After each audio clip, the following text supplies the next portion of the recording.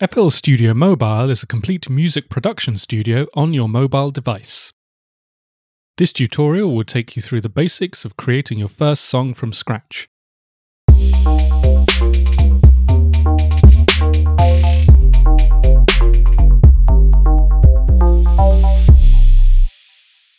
Tap the Home button. On the Songs tab, tap New and select an empty template. Choose a tempo and a time signature. Tap on the existing song name to choose your own. Tap OK. This is the playlist, where you will arrange your song from individual clips you create. Tap the Add Channel button and choose Drums. Select a drum template. This is the drum sequencer. The lanes correspond to different drum sounds. You can also play the drums from the pads below. Tap to add or remove steps in the drum sequencer.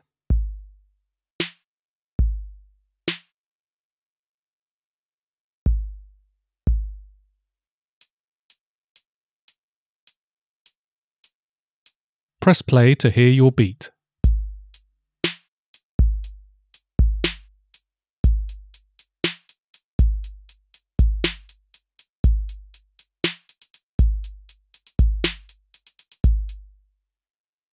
Drag the handle to reveal the graph editor. Here you can edit velocity, panning, pitch, and repeat value.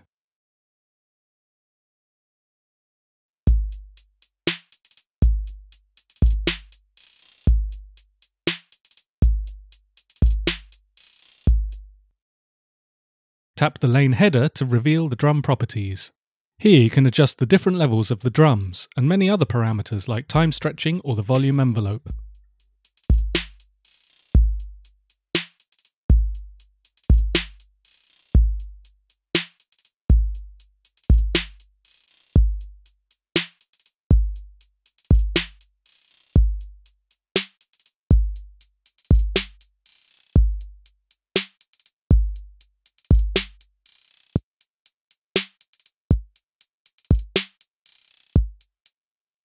Tap the X icon to close the drum sequencer. You are now back in the playlist. Tap a clip to select it. Drag the handle to extend and repeat the drum sequence. Tap the left arrow icon to open the rack. This holds instruments or effects for the selected playlist track. Tap the plus icon to add an effect. Let's select a compressor to add more punch to the drums. Tap here to choose a preset for this effect or tweak settings yourself to exactly what you need. Tap the Add Channel button again, and now let's choose an instrument for the bass line. Pick a category folder, then tap to select and preview different instrument presets.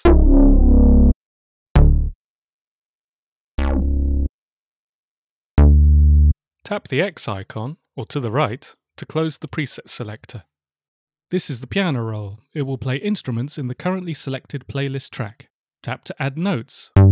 Tap a note again to select options such as delete. Tap and drag the background to move your view. Let's create a bass line. Drag the note handle to change the note length.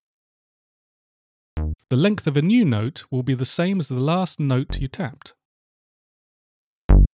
You can zoom by pinching on the time ruler at the top of the piano roll. Here is our bass line.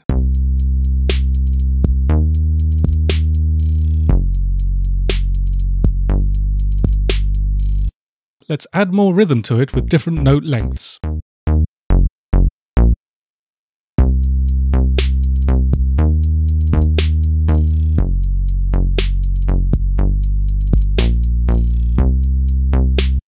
Long tap and drag to select multiple notes.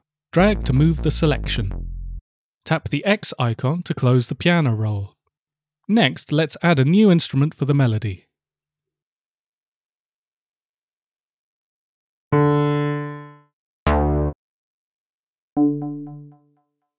This time, let's record it live. Tap record, then press play, or simply start tapping notes in the keyboard below.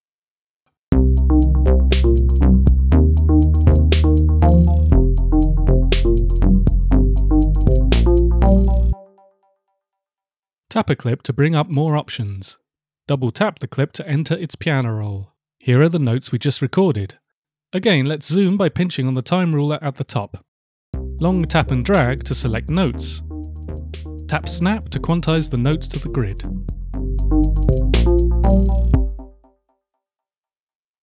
Tap the playlist track header to view mixing options. Let's change the level and solo the instrument.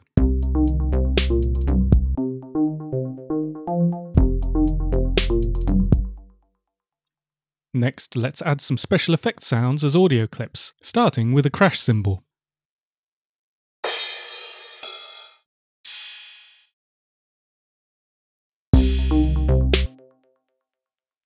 Let's add a new effect to that audio clip track.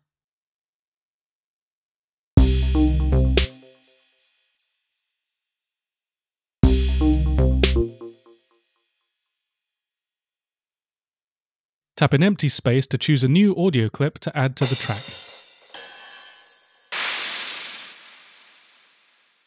You can adjust the properties of the selected audio clip below. Let's reverse it and drag it into place.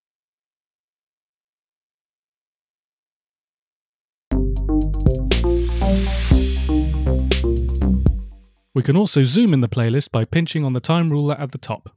Long tap and drag to select clips. Drag the handle to extend and repeat the clips.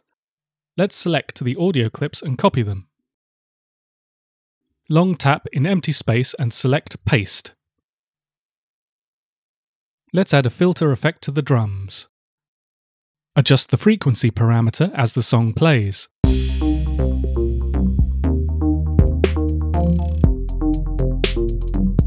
We can automatically adjust the frequency over time with automation. Tap the menu here and select Add Automation Track. This will create an automation track for the last parameter we adjusted. This is the automation editor. Again, let's zoom by pinching on the time ruler at the top. Tap to add points in the automation. Tap one again for options such as delete. Let's create an automation change.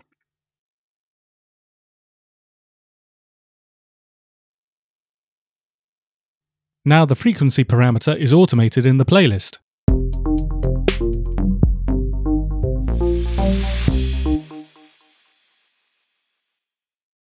Okay, time to save our project. Tap the Home button. On the Songs tab, tap Save, or drag it to the left to quick save. If you are looking for new sounds, you can go to the Shop tab. Tap the Preview button in the list below to hear demos of the sounds you can buy. To change an existing instrument on a playlist track, select it and open its rack. Tap the Instruments Options menu, then Replace, and choose your new instrument. We could choose a sound we bought earlier in the shop, for example.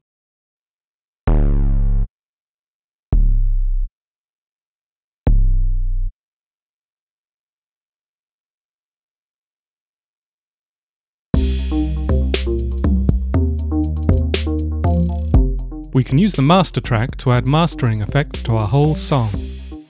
Select the master track at the top of the playlist and open its rack. Let's add a limiter effect to finalize our song and make sure it does not clip.